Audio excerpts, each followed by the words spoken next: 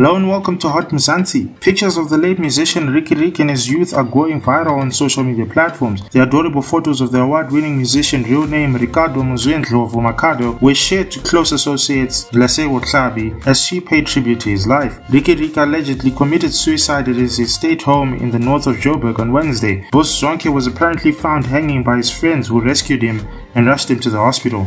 Unfortunately, he did not make it. He suffered from severe depression and previously made a video in which he talked about his mental condition. He was aged 34 years old. Following Riky Rick's suicide death, a devastated Lesego expressed the deep loss she was feeling. In a statement, she said, Yeah, devastated doesn't quite explain it enough. This cuts deep. And the worst is that no matter how deep you feel, work doesn't wait and you just want to shout that you need a break because your heart is physically hurting. The writer and comedian, best known for creating the character Coconut Kells, then shared a picture of her romantic dance dance with Riky Rick. In the photo, both Lesego and Rikhado looked young and vibrant and are smiling at the camera. She also shared another endearing picture of an even more youthful Riky Rick playing table tennis and narrated how he was her mother's favorite child.